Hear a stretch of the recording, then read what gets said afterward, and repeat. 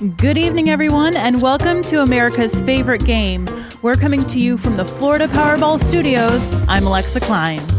Tonight's guaranteed jackpot is up to $110 million. So get out those tickets, folks, and let's play Powerball. Your first number tonight is 56, followed by the number 62. And congratulations to William Costello from Plainville, Connecticut. He won $40,000. Your remaining white ball numbers are 54, 63, and 4. Now remember, if you match this Powerball number, you're always a winner.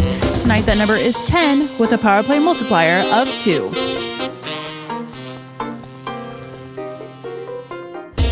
Have you heard? The 10 times power play multiplier is back. It can pop up on any Powerball jackpot draw under 150 million.